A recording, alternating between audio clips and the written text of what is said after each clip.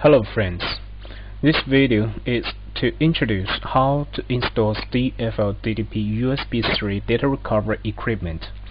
First, connect the USB 3 cable and second, connect the external power supply cable. Okay, next. Let's go to download and get the latest DFL-DDP setup program from the forum or from your sales representative double click to install it. Next. Accept. Next. Yeah. Use the default path next. Okay. Next. Create a desktop icon. Next. Install. So it's very easy to install DFL-DDP click finish. Okay. Now let's go to the PC device manager here the PC device manager. Uh, once you enter the device manager you will find this unknown device because the driver for the hardware of DDP hasn't been installed so it's unknown. Right click update this driver search manually the driver. Okay. We can find the drivers under the DFL-DDP installation folder.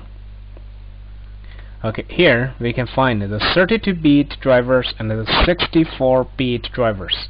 If your PC has installed the 32-bit operating system, then you select the 32-bit. Otherwise, 44, 64. Okay, my PC is 32-bit Windows 7 operating system. So I select this one. Click OK. Uh, next. So here if your PC has installed some antivirus software you need to allow the installation of the driver. Okay the Windows has successfully installed the DFL-DDP driver. After the device driver is installed successfully for the DFL-DDP so you can find the DFL device under the Universal Serial Bus Controller. Okay. Another point users need to pay attention is the COM port here. So sometimes if your COM port doesn't come up you need to do the same way.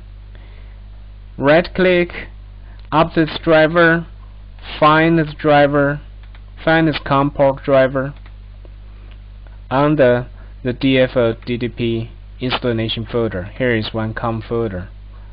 Okay select it select it click OK click next to install driver. Okay. After the COM port driver installation uh, you will find the COM number. COM5 or COM4 or COM7 uh, this is different on the different PC so when you enter the DFL-DDP program uh, and you are going to use the COM port operations like for Seagate you need to select the right COM port. You need to select this one so you will find the COM number within the device manager under COM and LPT ports okay. So after the DFL device the COM and the two channels the 80 81 the two channels come up. Okay. Then we can click the DFL DDP icon on the desktop. Click it.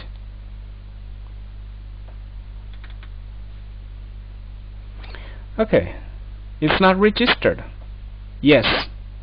So click OK.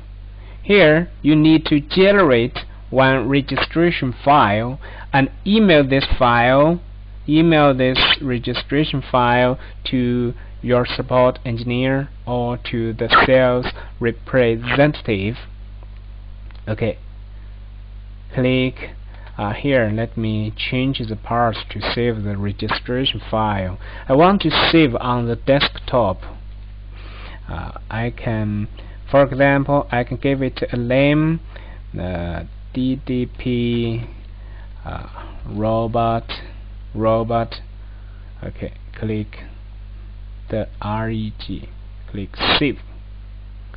Okay register. Okay. Now you can find this reg file. So send this file to the sales representative. Sometimes when you email this directly it may be not passed by the email security system.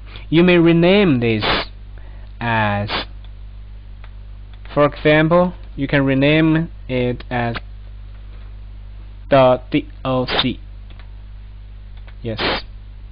So you send this one by your email to the DFL support engineers. This will be okay. After the support engineers get your reg file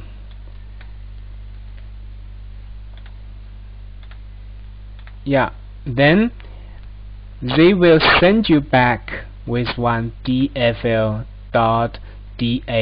file. This is the real activation file. When you get this file you need to copy it and put this activation file to your DFLDDP installation folder. Okay put it here. Right now you can open your DFLDDP successfully. See? So you get success. Anyway for Windows 7 or Windows 8 64-bit operating system when users try to install the device drivers it may be not successful. Successful yeah. That is because the 64-bit operating system require the digital signature verified. Then users need this software to sign the DFL driver. We will talk about this one in another video. Yeah you need to enable test mode first. Okay test mode has been enabled. You should be able to note unverified signed drivers now. You need to restart repeat to apply yeah. Then you need to sign a system file okay here you can find the DFL driver location to sign it and then restart the PC after this step you can install the device driver successfully under the Windows 7 64-bit operating system.